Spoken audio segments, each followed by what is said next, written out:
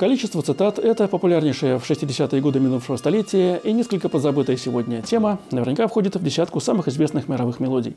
Песня, ставшая музыкальной композицией, называется «Little Man» – «Маленький человек». Инструментовка оркестра Джеймса Ласта оказалась столь яркой, что лишила произведения слов, о существовании которых многие теперь даже и не знают. Авторами популярнейшей когда-то песни являются Сальваторе Боно и Шерилин Саркисян, более привычные под эгидой дуэта Сони и Шер. Традиции предписывают указывать женщину первой, но в данном случае Шер действительно долгие годы была на вторых ролях, прекрасно дополняя своего творческого мужа. Оба из семей эмигрантов, оба не окончили школу, они сразу нашли точки соприкосновения. Образ длинноволосого хиппи Сони и не похожий вообще ни на кого Шер сделали их дуэт супер популярным. Песню «Little Man» Сони написал в 1966 Она не получила успеха в Америке. Зато Англия, Франция, Германия, Италия, Швеция на ура приняли ее в свои хит-парады. И за три года в мире было продано свыше трех миллионов ее записей. Безусловно, при такой популярности адаптированные тексты песни стали появляться на разных языках. Французскую версию исполнили сразу несколько артистов. Разумеется, в числе них была и блистательная Далида, чей сингл достиг седьмой строчки хит-парадов, а окрыленная успехом певица спела «Маленького человека» еще и на итальянском. После этого свои варианты выпустили еще несколько итальянских артистов.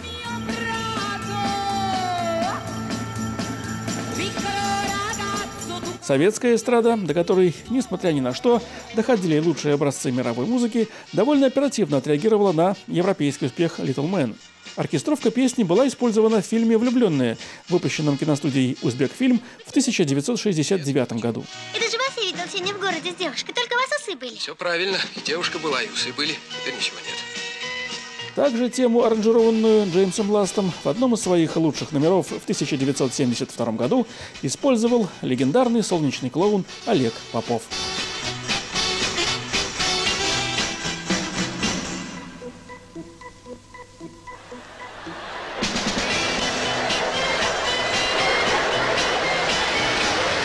В 1975-м появилась вещица под названием «Поезд моей жизни» в исполнении ансамбля «Веселые ребята» с весьма далеким от исходного смысла текстом. Студийной записи не сохранилось.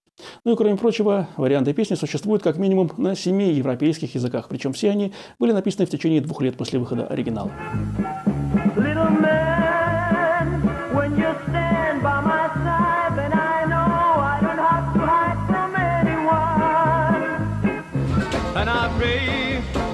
that we'll stay just that way till the day comes along when we reach the sun.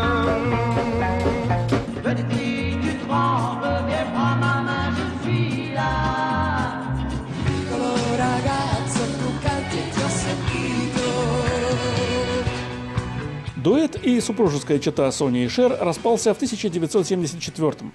Шер сделала карьеру поп-певицы и актрисы. В ее активе Оскар, Грэмми, Эмми и три золотых глобуса.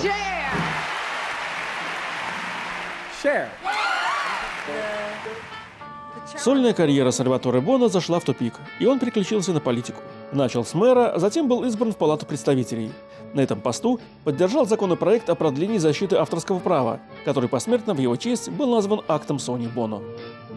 Шер – единственная в мире исполнительница, чьи песни пребывали в горячей десятке Billboard Hot 100 на протяжении четырех десятков лет. Тем не менее, ее имя, а уж имя Сальваторе Бона и подавно, покрывается пылью истории.